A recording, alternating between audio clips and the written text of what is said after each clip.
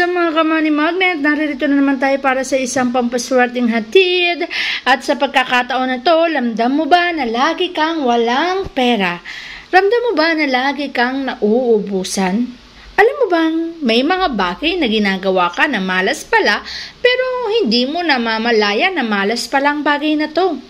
Alamin natin yung mga malas na bagay na pwede mong gawin at bakit kami na malas dahil dito. Umpisahan natin kung mayroon kang dahon ng laurel.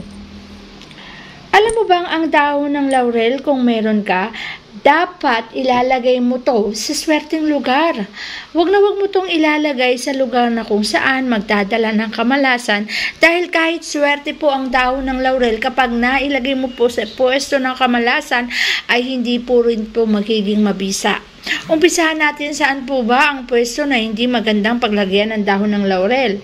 Ang unang pwesto na hindi magandang paglagyan ng dahon ng laurel ay sa kanluran. Ang kanluran kasi ay tinatawag na paglubog. Okay? So, bago mag 2023, Alisin mo po yung mga bagay na yan na sa tingin mo ay nagdadala ng swerte sa lugar kung saan tinatawag na kanluran. Huwag po kayo dyan maglalagay ng mga pangpaswerte sa kanluran dahil paglubog po to.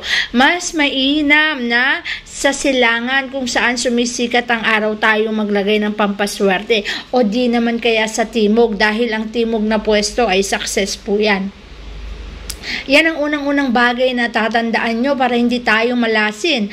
Huwag na huwag tayong maglalagay ng paswerte sa kanluran. Okay po?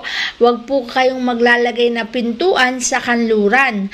Kasi kung ang entrance door nyo po ay nasa kanluran, paglubog po ang mangyayari sa mga taong nakatira sa tahanan na ang entrance nila ay nakapwesto sa kanluran. Paglubog po. Wala po kayong aasahang pasok ng swerte. Okay po ba yon? Kaya huwag nyo po ilalagay sa kanluran ang pintuan lalo na't ang entrance door. Okay po? Mas mainam na alamin mo ang pwesto ng silangan at doon mo ilagay ang pintuan. Pangalawang kamalasan na nadadala sa iyo ng isang bagay na hindi mo sinasadya pero nagagawa mo ay sa asin. Meron ka bang asin? Madalas ba na isasaboy mo yung asin? Madalas ba na ang asin ay naisasaboy mo? Alam mo bang ang pagsasaboy ng asin ay malas na malas at hindi ko iniingganyong gawin ng kahit na sino dahil sagrado po ang ating asin at ang pampaswerte at pangtanggal ng negative energy. Kung ang mga bagay na yan ay sinasaboy mo, ibig sabihin isinasaboy mo palabas ang iyong tahanan at inaalis mo sa iyong buhay ang kaswertehan kundi nais mo tong itaboy. So, So, wag na wag po kayong magsasaboy ng mga asin. Malas na malas po ang pagganap at pagsasaboy ng mga asin.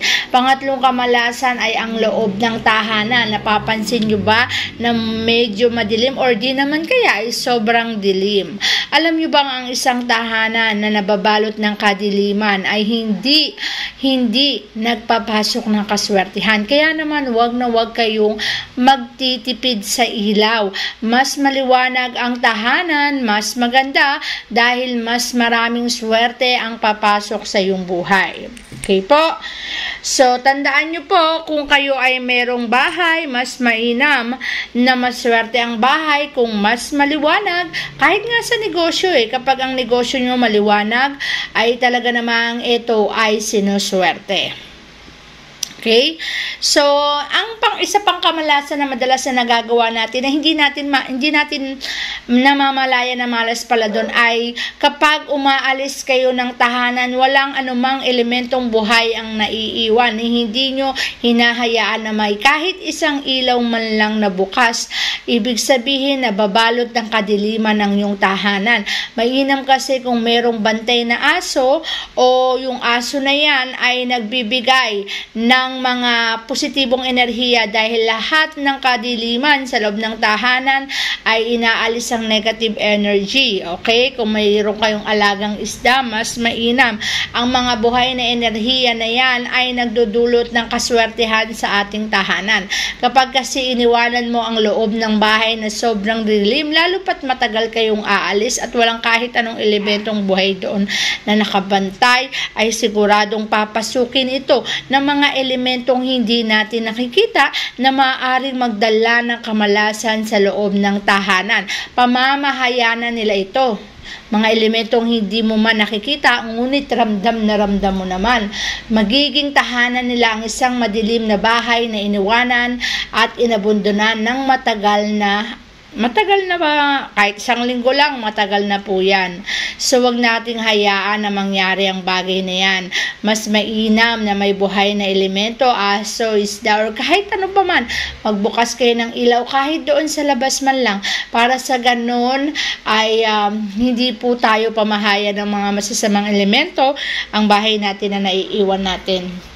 Isa pang kamalasan ay hindi mo namamalayan na malas po pala ay ang pagwawalis ng bigas. Halimbawa naman po ikaw ay natapunan ng bigas at winalis mo to, ito po ay tinatawag na gaba. Ibig sabihin ang kamalasan ay dumarating sa buhay dahil itinaboy at winalisan mo ang kasaganahan na nabibigay sa atin ng bigas. Hindi mo pinahalagahan ang swerteng dulot nito, winalisan mo at itinaboy mo sa iyong tahanan kung kaya't ang kaswertihan ay maitataboy din natin ng tuluyan. Huwag na wag po nating hahayaan na ang mga kamalasan na yan ay may mayani sa iyong buhay. Mas maswerte po na tayo po ay gagawa ng isang bagay na magdudulot po ng kaswertihan. Huwag niyo pong hayaan na ang bahay niyo ay iiwanan, madilim at walang katao-tao, namumuhay po ang mga espiritong ligaw na siyang titira dyan at magdudulot ng kamalasan. Mas mainam po na magpatugtog kayo sa tuwing gabi habang kayo'y natutulog upang ang mga elemento ay hindi manatili sa loob ng iyong tahanan at magsialis sa iyong bahay. Marami po kasing umiikot-ikot at nagpapaikot-ikot at nagdadala ng kamalasan. Ngunit kung ikaw ay nagpapatugtog sa loob ng iyong bahay kahit kayo ay natutulog, yung mga stress reliever na tugtog, nakakatulong po yan para itaboy ang lahat ng uri ng kamalasan sa iyong bahay at huwag silang manatili sa iyong tahanan. Dahil kung sila ay mananatili sa iyong bahay at mananatili sa iyong tahanan, ay mananatili rin po ang kamalasan. Kaya huwag po nating hayaan na ang mga kamalasan na yan ay manatili sa iyong bahay, tanggalin, linisin, alisin at ayusin silang tahanan upang sa darating na 2023 ay mapagtagumpayan mo ang isang masaganang buhay. Masaganang buhay na ibibigay sa iyo ng isang bahay na matiwasay at masagana. At yan lamang po mga kamani magnet. Ako po si Madam Cecil. Kung hindi pa po kayo nakaka-subscribe ay huwag pong kalimutang mag-subscribe, i-like at i-share ang video ito. Thank you very much!